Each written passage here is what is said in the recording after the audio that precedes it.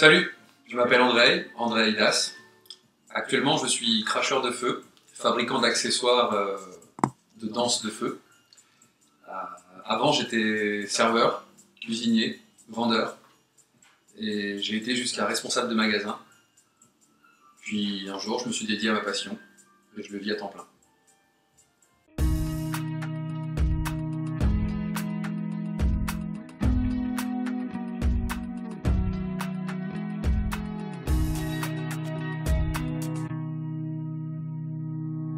André, et merci de me recevoir en ce dimanche. Salut Patrice, merci à toi d'être venu. Comment tu vas? Un peu éclaté, Ouais. pour tout te dire, un peu éclaté. euh, la fin d'année, euh, la fin d'année est bien fin d'année, ouais. Ouais. Voilà, il est temps que, il est temps qu'elle se termine. Mais dans l'ensemble, ça va. D'accord. Euh, du coup, je t'ai demandé une interview aujourd'hui pour un podcast qui s'appelle Les Autres. Donc le but c'est de parler un peu des, des personnes qui ont fait des reconversions professionnelles pour parler un peu de leur parcours et euh, de ce qui les a motivés à changer de vie. Du coup, je te propose qu'on rentre directement dans le vif du sujet. Est-ce que tu peux nous, euh, nous, nous dire un peu ce que tu faisais avant? Ok, là j'ai 37 ans. D'accord. J'ai commencé euh, la vie professionnelle, euh, je venais de fêter mes 16 ans. Donc euh, j'ai arrêté l'école à 15 ans et quelques. Mhm. Je suis rentré dans le monde de l'apprentissage, dans l'hôtellerie, donc l'école hôtelière. Service, cuisine, bar, hôtel, voilà, les, les matières euh, qu'on apprend au lycée professionnel. Euh, donc j'ai fait 5 ans euh, en alternance, ce qu'on appelle un CFA, un centre de formation d'apprentis. Oui. À l'issue de ça, bah, évidemment, j'ai cherché du travail que j'ai trouvé dans la restauration. D'accord. Pour la petite histoire, donc moi à 15 ans au collège, j'étais pas forcément, enfin je vais être très honnête, j'étais vraiment pas du tout le- l'exemple d'élève à la scolarité euh, prometteuse. J'étais plutôt euh, ce qu'on appelle euh, un vrai petit fouteur de bas, de, ouais, un, un, un bordélique quoi, un bien comme il faut. Ceux qui marquent les, les mémoires euh, Des professeurs des professeurs, des directeurs, des pions, enfin la totale. je- ouais. Pour celles et ceux qui m'écoutent aujourd'hui et qui se souviennent de moi à l'école, euh, j'ai changé, j'ai grandi, mais bon, voilà, je le sais, j'ai fait. Euh, et on m'a demandé, donc, euh, voyant que l'école c'était pas pour moi, on m'a demandé, mais il n'y a pas un métier que tu aimerais apprendre, il n'y a pas un truc que tu aimerais faire? La conseillère d'orientation de l'époque, euh, très euh, pressée de, de nous voir, enfin, en tout cas moi, de me voir sortir du, du circuit parce que j'étais pas à ma place très objectivement. Mhm. Et, euh, et j'avais un goût particulier de- de- depuis gosse, hein, mais vraiment depuis très tôt, pour, euh, pour la cuisine, apprendre à, pour faire à manger. Du coup, quand on m'a proposé l'apprentissage, je savais pas que ça existait et, et je m'y suis investi à fond. C'était une, une première rencontre entre un intérêt, une passion et, et moi-même. quoi. Du coup, euh, du coup, cinq années de formation là-dedans, euh, en alternance, donc avec des maîtres d'apprentissage, qui tour à tour ont été un peu euh, des, des pseudo-parents, des formateurs, des, accompagnants, des pédagogues, en bien ou en mal, hein, mais, des gens.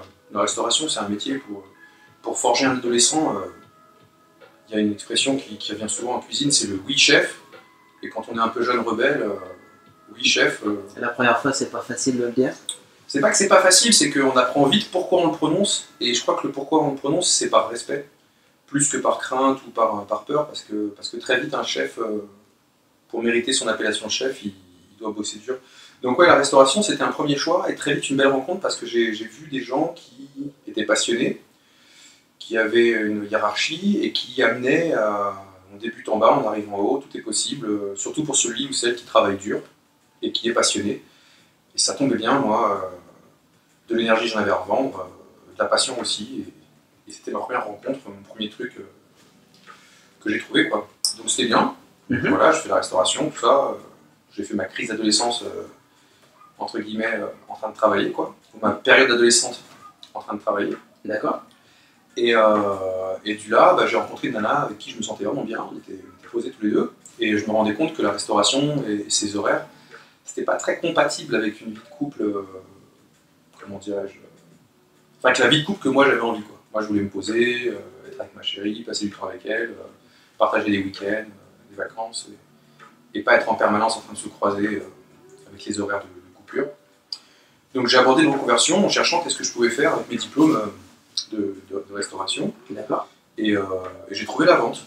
La vente où euh, les compétences euh, de savoir s'habiller correctement, parler correctement et, et valoriser un produit alimentaire, ça avait une place, du coup, bah, j'ai trouvé un poste de vendeur de thé dans une grande entreprise de thé, luxueux.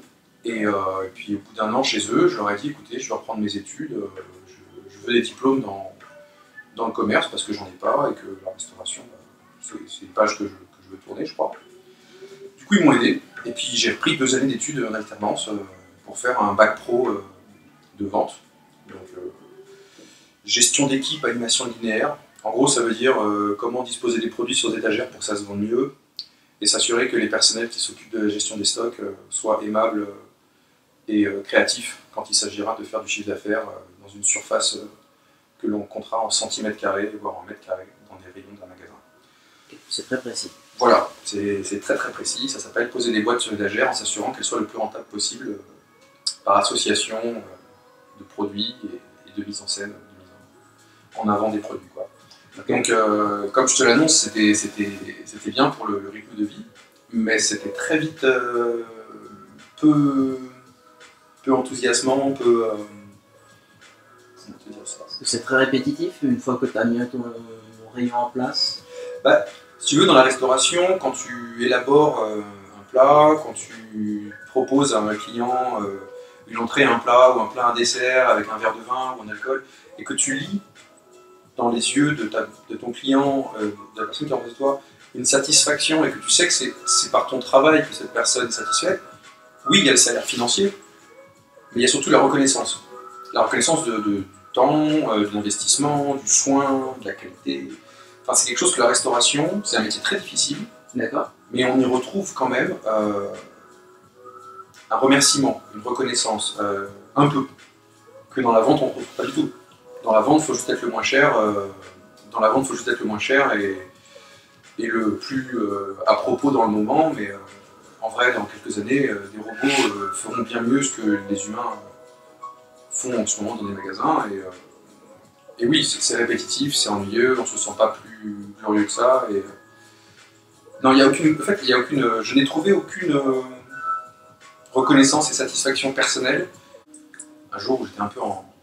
J'en pouvais plus trop de ces horaires de restauration et je cherchais un truc à faire. Donc c'est comme ça que je suis arrivé à la vente. Euh, il se trouve que les hasards de la vie ont fait que euh, j'ai rencontré un gars qui m'a proposé spontanément, mais alors ça c'était ça c'est les, les miracles de la vie, qui m'a proposé spontanément si je voulais apprendre à cracher du feu. Ça, c'est arrivé euh, au moment même où je passais de la restauration à la vente. Ce moment où je m'interrogeais sur qu'est-ce que je vais faire et où je vais changer de boulot parce que je veux trouver un autre boulot, euh, un gus arrive et me dit est-ce que tu veux faire ça? In- Impensable, inimaginable, aucune idée de comment ça a pu m'arriver. Je crois que ça devait m'arriver. D'accord. Et euh, du coup, bon, bah, je, je change de carrière, je fais de la vente, mais j'ai appris à cracher du feu. Très mal, franchement très très mal. Mais, euh, mais voilà, c'était euh, devenu mon nouveau hobby. une fois de temps en temps, j'allais jouer avec du feu, ça se faisait, c'était pas mal. Je passais mes semaines habillé en costard avec une cravate à être bien rasée, et le week-end, je buvais des canettes de bière de grande taille, et je passais du temps avec des gens qui n'avaient pas forcément du tout l'univers dans lequel moi j'étais, mais, mais avec qui on s'entendait bien. Mhm. Et, euh, et cette passion, ce truc-là, m'a accompagné euh, pendant toutes les années où j'ai fait de la vente, euh, de manière. J'aime à comparer ça comme une sorte de relation passionnée, passionnante. C'est presque comme si j'avais eu une maîtresse, alors qu'en vrai, il n'y avait pas d'autres relations officielles. quoi. C'était cette, cette passion que je retrouvais après le boulot, cette passion que je retrouvais dès que j'étais en, en repos, en week-end. Cette passion qui m'a amené tous mes amis. Je crois que j'ai gardé aucun ami de, De quand tu étais vendeur ou cuisinier? Bah, j'ai gardé des contacts, c'est vrai, on a toujours euh, du respect, de l'estime, euh, mais, mais, mais les potes avec qui je pars en vacances, ceux que j'appelle pour mes, les dates importantes dans ma vie, c'est tous des gens avec qui j'ai partagé cette passion, euh, avec qui je la partage encore d'ailleurs, le feu quoi. Du coup, euh, pendant ces années, j'ai pratiqué le feu, quoi, j'ai- bien aimé ça, et, euh, et du coup, bah, j'ai lancé euh, une petite soirée au Palais de Tokyo pour, pour rencontrer d'autres personnes, parce que je connaissais personne qui faisait ça en fait, je connaissais pas vraiment. D'accord, parce qu'à l'époque, en fait, à Paris, il n'y avait pas de lieu de rassemblement régulier. Quand tu faisais du feu à Paris, finalement, c'est un peu chacun dans son coin. Alors, faut, faut remettre ça sur, le, sur une prisme, euh, sur une frise de développement avec Internet. Euh, donc moi je pratique les arts du feu aux alentours de 2003-2004. D'accord. Euh, Internet euh, est développé, mais les réseaux sociaux n'étaient pas du tout ce qu'ils sont devenus aujourd'hui. Enfin, on était très loin de MySpace, n'était pas encore là. Facebook était Facebook pas était encore pas là. sorti. Enfin, donc il y a eu une ère, une ère des forums. Pour celles et ceux qui ont connu, euh, c'était vraiment le, le- le centre de rencontre, le carrefour euh, de curiosité, c'était les, forums à thème, donc euh, chacun y allait du sien. Bon, moi j'avais épluché un peu Internet à l'époque pour chercher des gens avec qui partager ma passion, et euh, j'avais pas trouvé de forum dédié proprement à ce que moi je faisais ni trouver de rassemblement, de- d'associations, de, groupes, de collectifs qui seraient réunis dans le but de partager cette passion. C'était que des, des troupes qui vendaient euh, leurs compétences. Du coup, ben, j'ai monté le forum, euh, enfin, j'ai monté. J'ai demandé autour de moi si quelqu'un pouvait m'aider. Il se trouve qu'un gars que je connaissais à peine, voire- enfin, je- et je le vois toujours plus aujourd'hui, mais il est passé par ma vie comme ça, comme un, comme un coup de bol, m'a dit bah, écoute, si tu veux, moi ton forum, je te le monte, t'inquiète, c'est vite fait pour moi, je sais faire. Ok. Il m'a fait ça. Ce forum est devenu le plus gros forum francophone euh, d'art euh, du feu. Je pense qu'on peut donner son nom. Ah ouais, euh, c'était le forum burncrewconcept.org à l'époque. Pour celles et ceux qui ont connu, bah, voilà. j'étais l'admin euh, principal de, ce truc-là. Ce forum a, tellement décollé que euh, bah, y avait une demande, donc il y avait des réponses. Euh, il y avait très vite j'ai réuni des photographes, des personnes compétentes, des gens capables vraiment de, faire vivre cette communauté. On s'est donné rendez-vous au Palais de Tokyo un samedi soir euh, pour débuter, comme ça, histoire de, de se rencontrer les uns les autres. Euh, et puis on était six. Au- je crois que c'était le 23 ou le 24 janvier 2004, on était six, il faisait froid, il était moche. Mais pourquoi le Palais Tokyo? Pourquoi pas euh, Bercy, Bastille euh, Et Notre-Dame ben, pour la petite histoire, le bus que j'ai rencontré, qui m'a appris à faire du feu, c'est suite à une rencontre que j'ai faite au Palais de Tokyo, qui est le spot pour faire du roller où j'allais faire du roller. C'est comme ça que j'ai rencontré ces gens. D'accord. Euh, donc c'était un lieu déjà qui, qui, pour moi, euh, j'avais une grande familiarité. Euh, deuxièmement, c'est un lieu qui, pour ceux et celles qui ne l'ont pas vu, je vous invite à regarder sur, en image, c'est quand même un lieu où il n'y a rien à dégrader. Enfin, en termes de feu, on peut faire du feu là-dedans, il n'y a rien à brûler, il n'y a rien en bois, il n'y a rien en végétaux. Enfin, c'est de la pierre partout. C'est très joli, mais c'est de la pierre partout. Du coup, pour faire du feu, on est pas mal. Euh, c'est très central, c'est à 500 mètres à vol d'oiseau de la Tour Eiffel. Donc pour s'y retrouver, c'est quand même vraiment, vraiment simple. Euh, c'est marqué dessus site de création contemporaine. Donc euh, c'est assez valorisant. Et puis bon, il faut pas les connaître. C'était aussi pas loin de chez moi. Donc c'était un bon moyen d'y aller. Mais au fil des années, j'ai fait le tour de Paris dans les différents spots où on pouvait faire du feu. Il n'y a que le palais de Tokyo à ce jour que j'ai trouvé où on peut se réunir à plus de 100 personnes pour faire du feu. Et que ça se passe mais hyper bien. Enfin, je veux dire, le, le lieu il est propice, euh, il y a très peu de vent, euh, l'acoustique est parfaite. euh. Non, non, c'est. Le palais, pourquoi le palais je, je, je pourrais que te dire, bah, parce que c'est le palais en fait. C'est. J'ai pas plus, pas plus simple que de dire si tu fais du feu, viens à Paris, balade-toi, et euh, vis le palais, tu te rendras compte, tu comprendras pourquoi. Euh, voilà, donc pour te répondre, c'est parce que c'était un lieu euh, pas loin de chez moi qui permettait de réunir un grand nombre de personnes qui, fais- qui faisaient du feu ensemble euh, en ayant le moindre risque possible pour l'environnement. quoi. Très bien. 23 ou 24 janvier 2004, on se réunit, on est, on est 6. Mhm. et, euh, et on se dit, euh, ouais, c'est cool, c'est bien, il faudrait qu'on soit plus nombreux. Et du coup, bah, on se dit, bah ok, à samedi prochain. Et, et c'était cool, c'était bien. Et à samedi prochain. Et puis à samedi prochain. Et, et moi, avec mon boulot, c'est vrai que j'avais tellement de pression ma tête que le samedi, il arrivait, j'étais, heureux. Parce que je, je rencontrais des gens, on passait une bonne soirée, on avait un véritable sentiment de liberté. Et de fil en aiguille, on s'est retrouvé à plusieurs centaines le soir, au tel point qu'un jour, euh, j'ai dit ouais, bah, samedi prochain, je viens pas. Et je pensais bêtement, je sais pas pourquoi, que, si je venais pas, euh, l'événement, les gens ils viendraient pas. Et on m'a répondu, tu craques, mec, c'est fini. Le lieu, il, il vit sans toi, l'événement, il est inscrit euh, dans les mémoires. Maintenant, tu as lancé un truc qui, qui t'a dépassé, quoi. Et euh, j'ai été touché parce que parce qu'en fait, ça s'est révélé vrai. Ça fait, là, on en parle maintenant. Dans quelques semaines, on sera en janvier 2019. Et dans quelques semaines, ça fera 15 ans que cette soirée a eu lieu et que en 15 ans, il y a eu du feu au Palais de Tokyo quasiment tous les samedis soirs. En tout cas, les dix premières années, il y avait du feu tous les samedis soirs. Mhm. La devise, c'était qu'il pleuve, qu'il neige ou qu'il vente, on sera là. Donc, euh, ça a été mis à jour il y a deux ans avec le qu'il y ait des cailloux. C'est une anecdote pour ceux et celles qui étaient là. Même s'il y a des cailloux, on sera là. Et euh, du coup, le Palais de Tokyo, BCC, enfin Berko Concept, euh, c'est formalisé, a évolué euh, du forum d'amis passionnés à, à une association, loi 1901. D'accord. Ça a évolué. La passion toujours grandissante.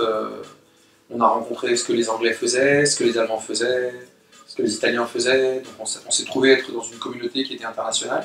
Européenne et internationale, puisque les Américains aussi jouent, les Australiens aussi jouent beaucoup. Euh, donc chaque pays avait sa convention, son festoche, son rassemblement. Donc BCC évidemment a été euh, les premières conventions de feu françaises, euh, le premier festival de feu français. on a même exporté notre truc au Maroc deux années de suite. On a fait convention de feu. Les deux conventions de feu euh, qui a eu lieu au Maroc, bah, c'est BCC qui les a co-organisées. D'accord. Donc, on, on- on a bien œuvré et tout ça, c'était mon, activité extra-professionnelle, si tu veux. J'avais toujours mon boulot à côté, euh, je faisais mes heures de taf, euh, j'essayais de faire mon taf du mieux que je pouvais, euh, toujours passionné, mais, mais j'avais cette relation passionnante à côté du boulot, où voilà, je, sortais du boulot, il fallait que je fasse mon forum, que je gère mon asso, que j'organise des soirées, que je monte un spectacle, que je monte un- une séance photo. J'ai toujours débordé de, de créativité, d'envie, d'idées. euh, une histoire d'amour que j'ai entretenue. Quoi. C'est... Le feu, c'est simple. Si tu l'entretiens pas, il s'éteint. Ça, c'est un truc que j'apprends à la personne. Euh, pour que le feu dure, il faut, il faut l'entretenir. Et, euh, et je crois que j'ai, jamais manqué de, de volonté, d'idées, d'inspiration. Peut-être j'en ai même débordé en fait. Du coup, du coup ma passion, cette, cette flamme que j'avais en moi, Mhm. c'est marrant de dire cette flamme parce que là pour le coup c'est vraiment, c'est littéralement pour ça. Euh, bah, je l'ai entretenue, je l'entretiens encore. Là je suis devant toi en train de t'en parler comme euh, peut-être la chose la plus importante qui me soit arrivée dans ma vie euh, à ce jour. Et, genre, et concrètement, ouais, ça fait partie de moi. et J'espère en faire partie aussi maintenant. Quand je suis arrivé dans ma carrière professionnelle, à des responsabilités importantes, responsable de magasin, formateur de boutique, je commençais vraiment à, à être de plein pied dans ce que je savais faire de, vente et dans mon produit que je connaissais très bien. euh. et, euh, et au moment où il fallait que je prenne encore plus du galon, euh, j'étais avec une copine avec qui on s'entendait. C'était pas mal, on avait des projets de vie à deux assez, assez pertinents. Et puis, je crois que ma passion pour le feu, ça sonnait un peu comme, un, comme une troisième personne dans cette relation. Et bon, ça l'a pas fait. Du coup, du coup, elle et moi, on s'est séparés. C'est le même jour que je faisais un événement feu très ambitieux et que cet événement euh, ben, n'a pas marché. C'était mon premier échec, euh, entre guillemets, euh, dans, dans- dans cette communauté-là. Et c'est le même jour que en fait mon taf, la boutique où j'étais, en fait, ça s'arrête. Donc, donc le même jour, si tu veux, je- j'ai voulu cumuler job à responsabilité, vie de couple, événements internationaux, euh, et les trois ensemble. Alors euh, je pense que j'étais pas prêt. Je pense que je pense que j'étais pas, j'étais pas encore mûr pour faire ce genre de, de challenge. Ou ouais, moi c'est comme ça que je le vois. Je pense que j'étais pas prêt. Mais, euh, mais il se peut aussi que C'était pas trop aussi? Ou euh, tu penses que si on est prêt, euh, on peut cumuler Moi, je pense qu'on peut tout faire. Tant qu'on est dédié à la tâche, dédié à la cause, organisé, on peut tout faire. Après, dans, dans cette journée noire, je pense que j'ai, je pense que j'ai payé le fait de- d'avoir survolé depuis longtemps euh, mon taf, d'avoir mis de côté euh, l'investissement euh, affectif dans ma relation de couple, et que en ayant l'impression de mettre deux, trois trucs de côté au profit d'un autre événement, je crois que j'ai fait payer aux gens qui étaient autour de moi aussi le fait que je sacrifiais beaucoup et que j'avais l'impression qu'eux, ils ne le faisaient pas autant. Donc, je suis pas amer. Enfin, aujourd'hui, je suis pas amer. Mais pendant un petit moment, je me suis demandé si est-ce que c'est pas moi qui avait fait qu'il y ait des gens qui n'aient pas eu envie de vraiment euh, suivre le truc? Est-ce que c'était de ma faute perso? Est-ce que des gens m'ont siphonné de l'intérieur? Est-ce que c'est moi qui ai été nul sur tous les points? Donc, il y a eu une grande phase d'introspection. Et aujourd'hui, je me rends compte que en vrai, même si j'avais été prêt, même si tout avait été bien, euh, on peut pas courir à la fois une carrière euh, croissante à responsabilité, une vie de couple à ambition de foyer conjugal et des événements internationaux euh, sans être solidement euh, prêt. Quoi. Ça, ça, il fallait. Donc moi j'ai joué à ça il y a quelques années parce que de toute façon j'ai une passion telle pour le feu et puis pour le thé aussi parce que ça me fascinait euh, que de toute façon j'aurais tout fait. Je, je me serais vautré encore plus fort que c'est pareil. Donc je suis, je suis pas amer. Je me rends compte qu'il y avait une étape, il y a eu ce qu'on appelle un, un crash quoi ce Mhm. jour-là et que je me suis posé une simple question qu'est-ce que je vais bien pouvoir faire après Et j'ai pas eu le temps de me poser la question. euh, Enfin, ça n'a pas pris 24 heures, hein, c'était évident. Euh, donc ma copine se barrait. Ok, fallait que je digère le truc. Euh, mon taf, on, on mettait fin à, à mon contrat. Tant mieux. Il fallait que ça arrive. et ça a apporté son lot de- d'oxygène. Et, et mon collectif, l'événement se voterait. Ouch. Ouch. Mais en vrai, euh, quand on joue avec le feu, on se brûle. euh, quand on fait des activités extrêmes, on se fait mal. Donc euh, je me suis fait mal sur un événement international. ça va. Je me sens pas si mal que ça. Je... C'est pas comme si j'avais merdé sur, sur un truc basique. Du coup, du coup, le feu était là, la réponse évidente pour me dire bah, écoute, je suis ta passion, j'ai toujours été là, je t'écoutais ta copine, je t'écoutais ton boulot, enfin, je t'écoutais plusieurs copines en vrai, pour être honnête. Je t'écoutais plusieurs boulots aussi, pour être honnête. Et pourtant, je t'ai toujours rapporté de la satisfaction, je t'ai toujours rapporté euh, de, quoi, de quoi ne pas sombrer, de quoi te rendre compte que je t'abandonnais pas. Ça a été, c'est encore aujourd'hui, d'ailleurs, je pense que si tu es là, c'est quelque part aussi pour ça. Euh, le feu m'a toujours, euh, m'a toujours soigné en fait, m'a toujours préservé, m'a sanctionné quand je devais l'être et, m'a rappelé combien je, je lui devais le respect. Mais que tant que ma passion était pleine et entière et sincère envers, il n'y aurait pas de, il aurait pas de, comment on dit, il y aurait pas d'embûche quoi, il n'y aurait pas d'embûche insurmontable. Et donc ça c'était quoi? C'était 16 mai 2010, on est en 2018, on est en 2019, donc voilà, ça fait 8 ans et demi. euh, Que tu t'es professionnalisé. que je me suis mis à mon compte. Euh, grâce à cette rupture de contrat, euh, bah, j'ai eu, des sous qui me permettaient de, de voir venir. Grâce à la France, on en dira ce qu'on voudra, euh, mais c'était sous l'époque euh, de Sarkozy, euh, il y avait le statut d'auto-entrepreneur qui, qui se lançait. Au Pôle emploi, il y avait le droit aux formations, reconversions diverses et variées. Mhm. Ben, moi, j'ai pris le point de départ que mon truc c'était le feu. Je suis arrivé au Pôle emploi, parlant quatre langues, diplômé de restauration et de vente, à l'aise dans un costard, sur moi. Et j'ai demandé à apprendre à forger. Et on m'a répondu que oui, non, peut-être, oui, non, peut-être, enfin qu'il y avait peut-être un truc, machin, bon. Que c'était très loin de Paris, euh, et que bon, si je voulais le faire, euh, on me le donnait sans aucun problème, mais que on se doutait bien que j'irais pas parce que c'était loin, parce que c'était dur, parce que c'était tôt. Moi, j'ai pas réfléchi, j'ai dit, euh, vas-y, je prends la formation soudeur qui se trouve à l'autre bout de l'île de France, là, j'ai pas de voiture, c'est en RER, il faut être là-bas à 7h du matin, il a pour une heure de RER. Moi, j'ai toujours bossé dans les salons parisiens un peu, euh, un peu bourgeois, je me retrouve à prendre le RER à 5h30 du mat. euh, pour aller au fond euh, 77. Qu'est-ce qui euh, te motive pour faire cette formation-là dans ce domaine en particulier Ben, donc il y a quoi? Il y a 8 ans, 27, 29, j'avais 29 ans. Ouais. Euh, donc j'aborde la trentaine et je me dis qu'est-ce que je vais faire plus tard? Est-ce que je veux être un oiseau qui vend de jolies boîtes? Euh, Est-ce que je veux qu'on construise des niches autour de moi au final Parce que c'est ce qui s'est passé? Euh, Est-ce que, je veux vivre pleinement de, ce qui me fascine, de ce qui me passionne Et, euh, et j'ai toujours comparé le feu à l'art de l'éphémère. C'est-à-dire qu'une flamme, ça apparaît, ça disparaît. Voilà, c'est génial. Moi, je crache du feu en public, euh, il fait froid, il fait nuit, d'un coup, il fait chaud, il y a de la lumière. Alors c'est génial, euh, les gens ils sont surpris, ils applaudissent, et puis ça s'arrête, ça disparaît. Voilà. La photographie de feu, ça te fige une fraction de seconde, un clignement d'œil, c'est bien, mais ça reste toujours et encore un art de l'impalpable, un art entre guillemets éphémère, parce que bon, les arts du feu existent depuis que le feu est manipulable. Je pense que depuis la préhistoire, euh, il doit y avoir des gens qui ont dansé avec un bâton enflammé euh, parce qu'ils trouvaient ça joli. Enfin, je crois à ça, j'ai aucune preuve. Mais, euh, mais c'est toujours, toujours très bref en fait. On a, pour soi que la mémoire de l'instant et pas la mémoire de la matière.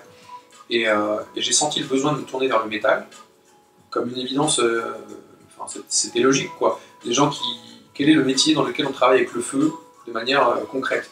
Alors oui, certains pourraient dire le pompier, mais moi je suis pas trop fan de m'approcher des, des situations euh, extrêmes et risquées.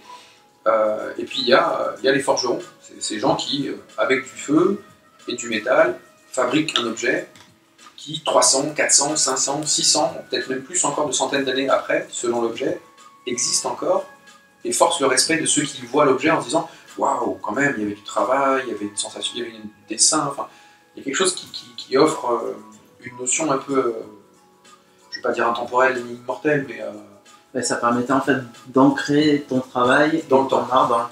Voilà, c'est ce qui m'a amené à, à positionner mon. Enfin, j'y voyais une opportunité de valoriser mon travail dans le temps. Et pas que dans la photo ou dans la vidéo ou dans les spectacles. Donc, euh, quand on m'a proposé cette formation, j'ai dit c'est quoi dans une vie. euh, C'était 8 mois de formation. C'est quoi dans une vie 8 mois? C'est quoi dans une, dans une passion 8 mois? C'est quoi l'optique de, passer à côté d'une chance que la France m'a donnée concrètement Il ne faut pas, cracher dans la soupe. De, euh, pouvoir se, reconvertir et, apprendre. Donc j'y suis allé. La soudure, le feu, tout le réseau avec lequel j'étais autour de moi internationalement. Quand j'ai annoncé euh, sobrement que voilà, maintenant je fabrique du matériel de feu, bah, j'avais un certain crédit parce que, parce que les gens savaient que, que j'étais passionné et dédié à ça. Et, euh, et ça a pris. Donc, euh, donc la reconversion, est-ce que c'est vraiment une reconversion ou est-ce que j'ai juste pas mis des années avant d'oser accepter que j'étais fait pour ça et que peut-être avant je me cherchais des boulots alimentaires pour, euh, pour ne pas être en accord avec moi-même je, sais pas, je te reparlerai de ça dans, dans 10-15 ans. Mais, euh, mais ma reconversion s'est faite parce que j'étais dos au mur, je savais pas quoi faire. Et euh, la seconde où je me suis posé la question, la seule chose qui s'est affichée, c'était une évidence, c'est ben fais ce que t'aimes quoi. Parce que quand tu es dans la merde et que tu sais pas où tu vas, euh, écoute ton cœur. Lui, il te veut du bien. Donc, si quelque chose s'affiche en disant Hey, rappelle-toi que t'aimes ça, C'est qu'il faut l'écouter. ouais, il faut l'écouter et il faut avoir la folie de se dire toute personne qui me dira qu'il y aura des obstacles, des risques, des machins, on s'en fout. Il faut avoir la folie de se dire si c'est ce que j'aime, je dois aller par là, la vie se charge du reste. Un jour, j'ai expliqué à un élève qui me demandait euh, mais euh, comment on fait pour s'améliorer en crachage Euh, J'ai dit bah écoute, je peux pas te dire vraiment, à part les exercices que, je te conseille, je pense qu'il faut avoir un truc à gueuler. J'ai vu des gens, je les connaissais pas, je les ai vus cracher, j'ai quasiment eu envie de les prendre dans mes bras parce que je, crois que je savais ce qu'ils ressentaient en fait. J'ai ressenti la peine, j'ai ressenti la douleur, la tristesse, et il y a un truc qui est dingue, je te la fais très courte, mais euh, imaginons quelqu'un est triste, très triste, et, euh, il sait pas comment, se soigner, comment il va mal, il va mal, il déprime. Et puis euh, soudain, il se met au milieu d'une foule avec ce truc sur ses épaules qui pèse de, peine, de jugement, de tristesse, de tout ce que tu veux. Puis il remplit sa bouche d'un produit toxique. Puis il prend une torche, c'est dangereux. Puis il prend son inspiration, il s'arme de, détermination, et puis il souffle fort. Il souffle très fort, il, il crie, et puis ça s'enflamme. Puis il s'arrête, puis les gens qui sont autour de lui le regardent, surpris, un peu émus, et généralement ils applaudissent. Et j'ai remarqué un truc qui est dingue, c'est que quand tu vas pas bien, vraiment quand tu vas pas bien, tu es en train de bader, peu importe, tu te retrouves n'importe où. Tu dis je vais pas bien. Et la seconde d'après, tous ceux qui t'entourent t'applaudissent avec des étincelles dans les yeux. J'ai pas vu le meilleur moyen de soigner quelqu'un qui va mal. Alors je peux me permettre de dire, ça ne regarde que moi, ça n'engage que moi. Cracher du feu, c'est un très bon moyen de 1. faire sortir des choses qu'on a en soi. C'est une certaine violence, une certaine colère, une certaine agressivité qui se matérialise. Et ça, c'est c'est sain en fait. Il faut faire sortir ce qu'on a.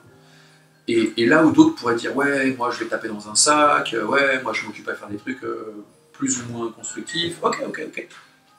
Cracher du feu, c'est en une fraction de seconde passer du j'ai mal à je vais bien, avec en plus le petit bonus du les gens qui m'ont vu dire j'ai mal m'ont dit tu déchires la seconde d'après. Et ça vaut ce que ça vaut, je laisserai à chacun l'appréciation de ce truc-là.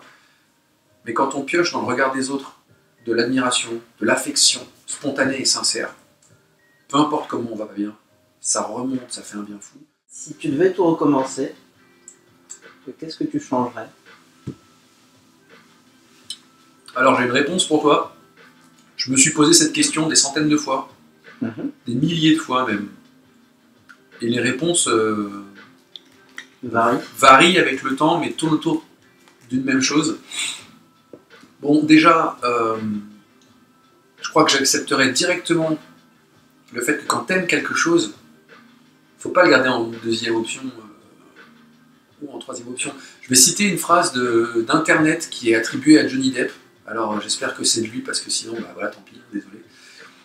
Cette phrase de Johnny Depp dit On peut pas tomber amoureux de deux personnes en même temps. Parce que si t'aimais vraiment la première, tu verrais pas la deuxième. Et euh, moi, je crois que dans ma vie, une très grosse connerie que j'ai fait euh, quasiment euh, dès le début, c'est croire qu'on peut aimer deux choses ou deux personnes en même temps. C'est pas vrai. Enfin, en tout cas pour moi. Donc, si j'avais un truc à refaire, ce serait de me dire écoute, tu peux pas faire deux choses à la fois. Parce que concrètement, tu peux pas dire que tu aimes deux choses à la fois. Soit tu aimes cette chose-là et tu vois pas les autres. Voilà, tu es sincère. Soit tu aimes cette autre chose-là. Et donc tu peux pas dire que tu aimes la première aussi, parce que c'est pas vrai en fait. euh, On peut aimer plusieurs choses en même temps, c'est vrai. Mais de là à les vivre pleinement et à s'y dédier et à, s'y investir pleinement, bah, bah non. En fait, euh, la sincérité, c'est que tu, tu vas sur le truc que tu aimes vraiment. Et je crois que si je devais euh, tout recommencer, si je pouvais me jeter une bouteille à la mer euh, qui remonte le temps, je me dirais, tu sais que tu as raison, tu sais que, tu sais que tu vas y arriver, parce que j'ai toujours su que ça marcherait. Je sais pas pourquoi, toujours été fou. Mais, euh, mais je me dirais, non, non, non. Si tu as vu l'autre, c'est parce que la première n'est plus. Accepte-le, assume-le, et euh, vas-y, vas-y, avance. Parce que là, euh, ouais, là, le, le- le temps, l'argent, les trucs, tout ce, que, tout ce que je me suis vautré, tous les pieds dans le tapis que je me suis mis, c'était parce que j'acceptais pas de voir en face le fait que, mais en fait, ça y est, je passais à autre chose. D'accord. Est-ce que tu aurais eu une ou plusieurs anecdotes que tu pourrais nous- partager sur des, événements, des soirées en particulier qui t'ont marqué? Si on parle de, projets par exemple, est-ce qu'il y a des projets qui t'ont particulièrement marqué? Ouais, euh, il y a un projet qui m'a qui m'a tout donné en fait. Euh, je faisais du feu euh, au champ de Mars comme ça, un vendredi ou un samedi, je sais plus, comme comme ça m'arrivait souvent. Et, et un gars que j'oublierai jamais, Riyad, un, basketteur en fauteuil, euh, passait par là et il cherchait des gens parce qu'il montait un événement euh, au champ de Mars, le D-Festival.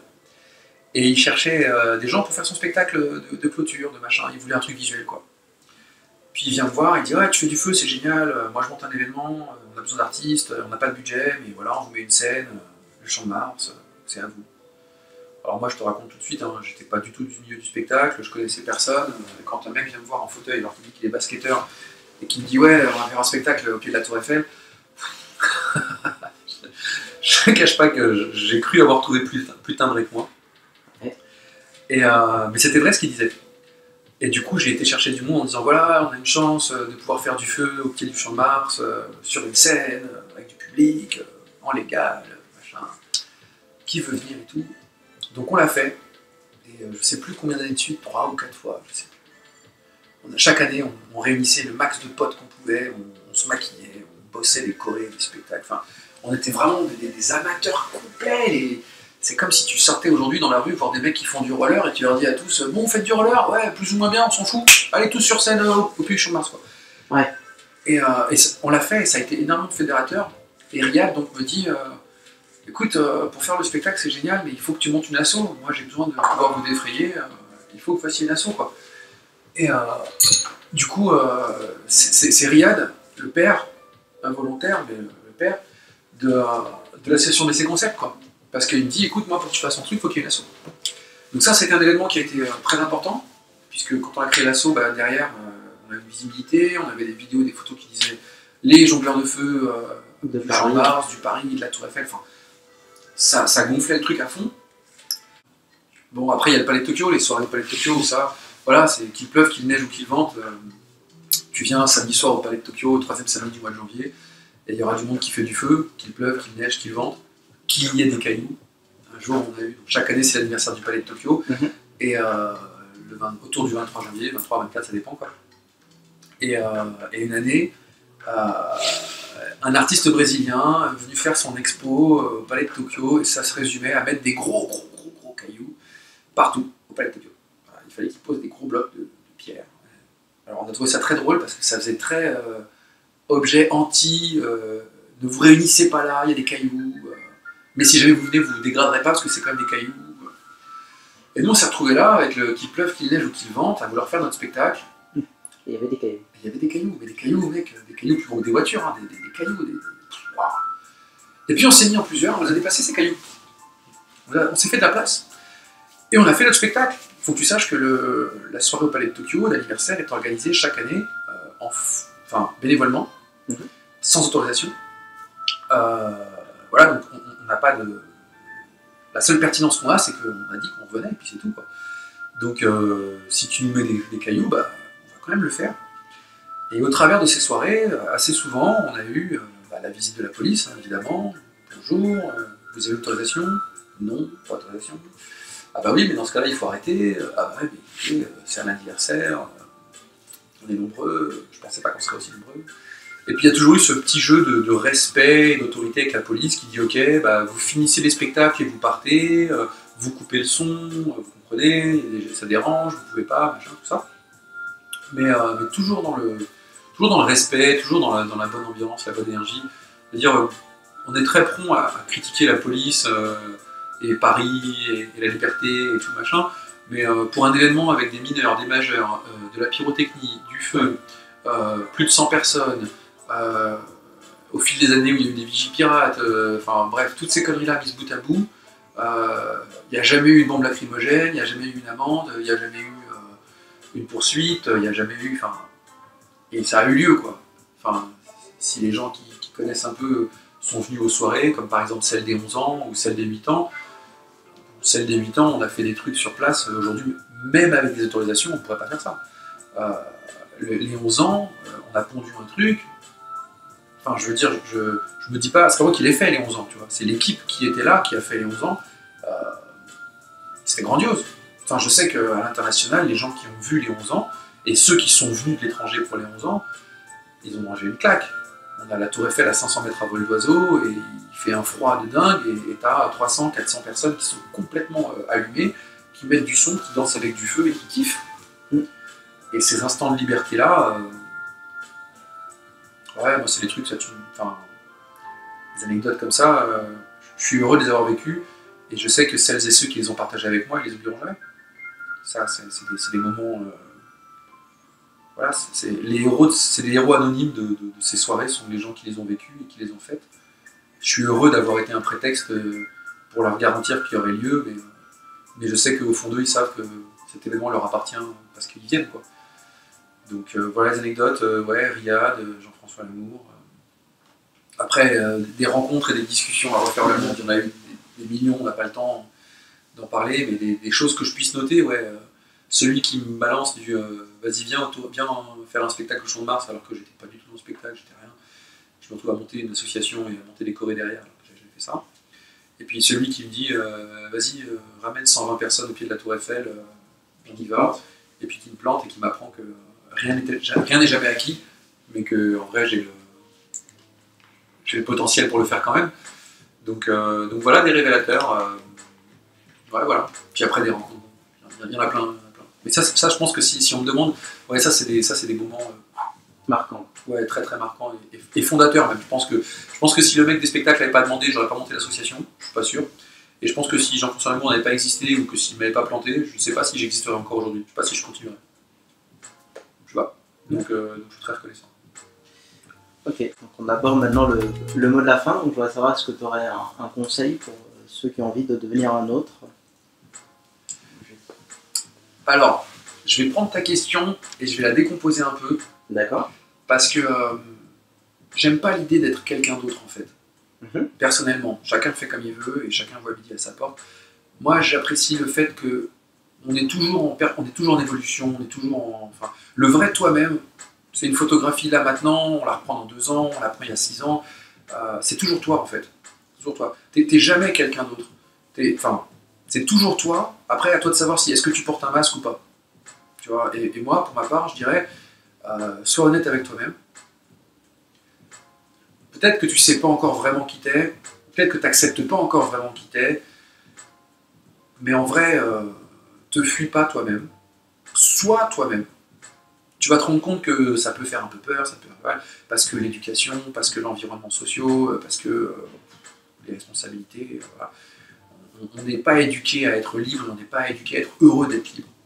Donc, c'est tout un process, mais, euh, mais il faut être soi-même, parce que avant tout et surtout, euh, on est personne d'autre en fait. Euh, on peut essayer de plaire aux autres, on peut essayer de se convaincre ci ou ça, mais ça sert à rien. On ne cultive pas ce qui, est valorisant. Donc moi je dirais, primo, vraiment, accepter qui on est. Même si ça peut paraître bizarre, mais accepter qui on est. Faire de son mieux pour être pleinement celui que l'on est. Celui, celui ou celle. Hein, voilà. Euh, il faut, faut surtout pas perdre de vue qu'il y aura toujours un millier de personnes pour te dire que ton idée, ils l'ont déjà eue, que ton idée, elle est mauvaise, que tu n'y arriveras pas, que tu pourrais y arriver, mais que tu te rends compte que. Il y aura toujours un millier de personnes pour penser à ta place. Le millier de personnes en question, ce n'est pas toi. Donc, quitte à passer pour un fou, crois en toi, sois toi-même, suis ton foutu instinct parce que ton instinct, il, est juste, il te veut du bien. Quitte à ce que tu te manges des gros râteaux, mais ton instinct te veut du bien. Euh, je l'ai dit tout à l'heure, mais euh, la réussite, c'est un comportement. Alors, je ne crois pas qu'on réussisse parce qu'on est programmé à réussir, et je ne crois pas qu'on réussisse parce qu'on a merdé tellement de fois que maintenant on ne peut plus que réussir. Je, pense qu'il y, a une partie de travail fondamentale. Euh, il y a une partie d'intérêt personnel, c'est-à-dire que ça tombe pas du ciel, quoi. Et il y a quand même un intérêt euh, chance, il y a quand même un, un- un- pourcentage chance, et je crois que la chance, ça n'existe pas. C'est uniquement le fait que parce que tu es toi-même, que tu fais ce que tu aimes, que tu suis ton instinct, alors les choses arrivent d'elles-mêmes. Et de l'extérieur, on dira Ah ouais, t'as eu de la chance. Ben, moi, je crois pas qu'on ait de la chance. Moi, je crois qu'on a que ce qu'on mérite. Et, euh, et quand on est en accord avec soi-même, et qu'on est sincère avec soi-même, et donc avec ses centres d'intérêt, sa passion, son, objectif, les choses viennent à soi. Alors je veux pas dire ça dans les oreilles des gens qui sont en train de galérer en ce moment, à qui n'arrive que des tuiles, et qui, voilà, bon bref, je vais pas leur dire, euh, bah, tu vois, t'as pas fait les bons choix, ta vie est mauvaise ou quoi. Je me permettrai jamais, parce que chacun voit midi à sa porte. Mais la réussite, c'est un comportement. Sois honnête avec toi-même. Cherche pas à être quelqu'un d'autre. Crois en toi. Et plus on te dira que tu vas pas y arriver, et plus il y a moyen que tu sois sur la bonne voie. Sois fou et assez fou pour te dire je suis celui qui écrit son histoire, personne d'autre. C'est toi. On est tous des artistes. Notre plus belle œuvre, c'est notre vie. Et chacun, on en est l'auteur de notre vie. C'est pas les autres. Ça, c'est fondamental. Euh, voilà. Voilà. Aime-toi. Aime ce que tu fais. Suis dans cette direction et euh, ça va aller. Ça va aller. Il n'y a pas d'arc-en-ciel sans jour de pluie. Du coup, si tu galères, c'est normal. Faut pas avoir peur de ça. Bruce Lee disait il faut pas vouloir une vie facile, il faut vouloir avoir la force de faire face à une vie difficile. Parce qu'en vrai, la vie n'est jamais facile. Et, euh, si tu es déterminé, ça va aller. Les plus grands hommes et femmes de cette histoire, de cette terre, de tout ça, ils ont tous eu des périodes de galère. Mais la vérité, c'est qu'à la fin, euh, ceux qui ont été sincères et dédiés à leur cause, euh, ça a marché. La vérité, elle revient toujours. Voilà. Euh. Suis ton instinct, aime ce que tu fais, cherche à être le plus authentique possible. Tu t'en fous du regard et du jugement des autres. Euh, Merde, c'est une prison les autres. C'est une prison pas possible. Voilà. Et, euh, et quand tu réussis à faire ce que tu as voulu, faites ça. Faites ça dignement. Faites ça. Remercie les gens qui t'ont permis d'y arriver. Parce qu'en vrai, tu verras que tu n'es jamais tout seul dans la réussite. C'est pas vrai. Il y a toujours un million de personnes derrière toi. Et euh, puis partage. Partage. Les artistes soignent le monde. On fait du bien aux gens. Le monde a besoin de gens qui, qui vivent leurs rêves et qui les réalisent. C'est ce qui donne de l'espoir à l'humanité, euh, d'avoir une raison d'exister. On n'est pas là que pour débattre du prix du litre d'essence euh, et savoir le niveau d'études respectifs des uns et des autres. On- est là pour s'élever un peu les uns les autres. Et les artistes, c'est notre rôle. Quoi. Élever les uns les autres. Merci. Merci à toi.